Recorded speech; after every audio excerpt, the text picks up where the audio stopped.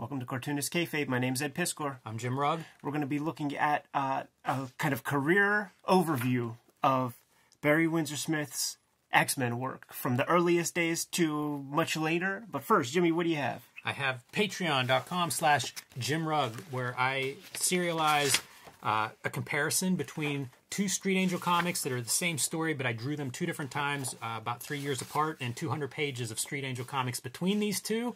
Uh, so it's basically comparing how I change as a cartoonist and creative choices that I make. Some stuff stays the same, uh, some stuff totally different. Uh, I do lots of this stuff on Patreon, original art process, talk shop.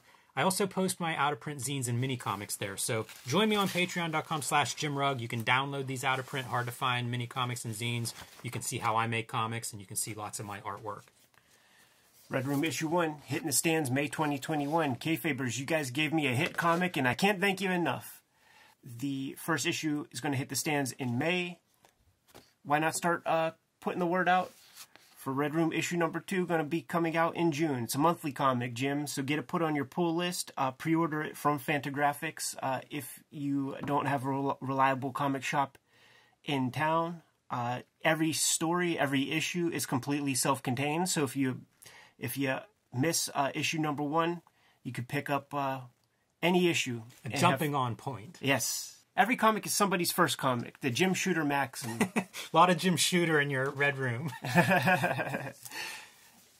Anyhow, I thought uh, what we're doing is celebrating, uh, this week, we're celebrating the release of Barry Windsor Smith's Monsters uh, graphic novel, a comic that was uh, 25, 30 years in the making, started off as uh, a uh, kind of Incredible Hulk origin story and turned into something much, much more. Went through a few potential publishers, Vertigo, uh, Dark Horse, ended up at the publisher of the world's greatest com- cartoonists, Fantagraphics Books, publisher of Red Room. And uh, we gave the overview for the book. Let's take a look at some classic Barry Smith work to see how we arrived at this place of this uh, this masterpiece. And uh, very prominent X Men artist. So we're going to take a look at two pieces. We're going to take a look at X Men uh, 53 from 1969, February. And then we'll take a look at uh, X Men 205 from 1986, that, that fateful year. We'll compare and contrast and have, have some fun along the way, Jimmy. We're going to use the essential to do this because I don't have uh, the, the original. It's about looking at Barry Windsor Smith's uh, penmanship, anyhow. Uh, and we're going to go back to a time before the Windsor was even part of the equation, Jimmy when he was this is like the classic stuff that you hear hear about in the old interviews when he comes to America and is like getting his first job, his first opportunities, and uh, the word on the street was he drew this shit here on New York City park benches, man, Central Park. That's the kayfabe. yes, good use of kayfabe. Uh, first thing you see is the Kirby. Totally. Which you know, a generation of cartoonists kind of came into Marvel with that kind of I don't know if it was instructed or not, but came in bearing that Kirby storytelling style. And man, as an artist, had to be a huge influence. You know, I'm, I'm, sure that that's what spoke to a lot of these aspiring artists at the time, and you, you see it on display in Smith's early work. Yeah, but then there's enough weird, finicky stuff uh, outside of that that still feel it feels like fanzine artwork or something there it is interesting to think like we've dissected Kirby to this point where there are books on how he draws and foreshortens and all of his Kirbyisms. Back then, it would have been like I looked at a few of his comics; they were amazing. Uh, let's see why, how how he's doing that, how he's creating movement, and uh, it's funny to see these artists interpreting that in their own ways. All right. Big four panel sequences, gutters for apart. You could see that uh, he probably this page might have been drawn on that uh, park bench, man, because he wasn't sitting there with a T square. Great action though, you know, as you go through that big center page, characters all uh, at angles. There's there's a lot of that dynamic quality in these early pages. Look at that right there. Blastar is our guy. Probably Marvel method. Like, look at these gutters. You never see gutters this wide. Did they do that in Britain? Yeah, that's different. And inconsistent from page to page. Right and from tier to tier. That's that, what I'm saying. That four panel pages, I feel like that's something that comes on much more later. Uh, interesting to see it here a few times. Right. In the big bulky fists. You know, certain certain Kirby tropes that are unmistakable. You know, the function of the big gutters too, if this was a deadline job, that's just like a little less drawn that has to be done. think that saves some some time. I really do. I've I've noticed that in my own pages when I make a, the gutters uh, bigger than I used to. Makes me wonder if these were drawn two up. I don't know what what date they changed that. Right. Um, it might have been a little bit earlier, but yeah, that's so different looking at this stuff. Like, look at how thick these lines are. Yeah. It's so different than uh, well than what we're gonna see. You know, twenty years later with his work. Ready to jump in? Yeah, man, pull it out. Let's get some Lady Deathstrike gimmicks in here. We're going to look through the black and white uh, afterward if we have some time because, man, if Barry Windsor Smith wasn't coloring this thing, we'd have to call him a masochist. or I guess sadist. Yeah, be it. He'd be putting it on the colorist. Yes, yes, yes. This is a wild comic. This is his third Claremont X Men issue, and uh, I think it's it's noteworthy because the first one he is penciling only. Right. Uh, the second one he's penciling, inking, and coloring, which is what he's doing here, and he gets a story credit here. But the coloring so important. I often say, you know, I went through a huge Barry Windsor Smith fandom in the '90s, and when I'd track down these issues, if you could get him penciling, inking, coloring, if you could get two out of three, that was going to be good Barry Windsor Smith. Right. I think that's super well said. Got a little uh little um Lady Deathstrike origin gimmick, man. With her reavers. There there goes the guys that uh, Wolverine jacked up during the Dark Phoenix saga. this this is a good spread to point this out is how much drawing he does in the coloring stage because when we see the black and white you'll see this is just open but Right. whenever you see here there's these white highlights that come in and then when you see the reaver's face like there are so many colors on that face he's really drawing in the co- like on the color plates i guess Look at uh like just two green dots for a little bit of light coming off of Spiral's helmet. Yeah, and the highlights that are uh, you know shimmering or shining in the hatching. Uh, we were talking about Jim Lee and Scott Williams doing that. Scott Williams chimes in and says it is something that they they were experimenting with uh, from a Barry Windsor Smith influence early on. when you look through this, you feel the the uh, influence that Barry Windsor Smith had on Jim Lee, Scott Williams, and, and that generation of future plastic hatchers. It's this stuff where it's like even in color, it takes you a second, It does. I, I cannot believe that a comic book looks like this. right? You know, you think of the think of the first Barry Windsor Smith X Men we just looked at and how simple that line work is compared to this blizzard in Manhattan. Right. With Power Pack, right. how about that? That's a strange choice. one of the toughest kind of views to draw. You know, like there are a few cartoonists that, that really pull that off. Otomo will do this view and pull it off real well, but you have to like it requires actual observational drawing because you rarely draw a character like so you like you have your iconic way to like put eyes and nose. Reverse and look at this shape and you got to look at something in order to get to that place. It's no front on view. You look at your uh, flip back to that page. You're sharing a studio with your buddies. You look over at him drawing. It's almost the, the cartoonist in drawing pose next to you. some cartoonists, man, they definitely have that severe hunch. We'll both probably have it Yeah. uh, eventually.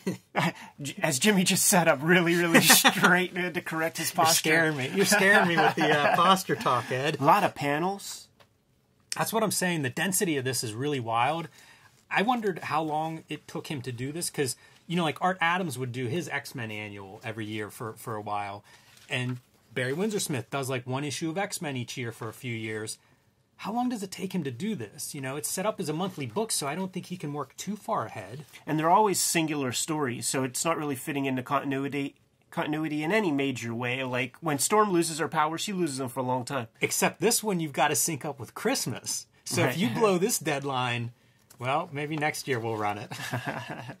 Maybe it'll be an issue of Marvel Fanfare. That could be too. But it does feel like more than a month's amount of work on the pages here. Absolutely. I, I don't I don't think that uh, when when he was when he was cooking, man, he was putting in more than uh, everybody else was. That's a mean Lady Deathstrike, by the way. She's amazing. I feel like this is what made her. To- oh, absolutely, man. These look at these cool colors. Uh, we benefit from having the uh, the orange and brown Wolverine uh, suit and the hot colors of Lady Deathstrike's outfit. While we have these cool colored backgrounds, where the you know it's not Roy G. Biv, it's like the G. Biv uh, treatment for the backgrounds That's here. funny. Really great fighting sequence too over these next several pages. These horizontal widescreen, as it became very popular in around 2000. Uh, doing it in 1986 here and doing it damn well. unforgettable close up, man. And and we did that Jim Lee X Men Artist Edition, and there was like all that weird hatching on the face and stuff. Has to come from this kind of I think so too. As I got into Barry Windsor Smith, it would have been around that time. You could see a, I, I feel like you could see a lot of uh, influence. And Barry Windsor Smith, you know, goes and works for Jim Lee for a little bit at Wildstorm on on one of their big crossovers. Uh, Jim Lee publicly, you know, has stated that he's a fan of Barry Windsor Smith's work. So I think definitely an influence. another super hard view to draw the human face. That man. really is tough. because what do you do with that mouth? You know, you you every time you draw a head, you want to draw a mouth, but that's one of those instances where it's almost not seen. Man, how cyberpunk is this particular story? Absolutely. You know, all her circuitry and wires and stuff everywhere looks Yeah. amazing. And it's like believable wire. It's like telephone cord, man. He drew wiring really well. Obviously, Weapon X, but I mean, this is you know five years before that. So this is him coloring. I was taking a look at, at this stuff here, like when when they used to have to uh, put that subscription information in there so that they couldn't kayfabe the numbers, and I think uh, subscriber base, like with mailing list, I think it was like I see a total number of copies printed. okay, subscriber base with the mailing list, twenty eight thousand four hundred ninety one people were on the Uncanny X Men subscriber list, dude. That's a lot of. That's a lot of addresses, man. That's how It you. is. That's how you get these video game ads and stuff in there. Six hundred and fifty-two thousand uh, print run. That's sick.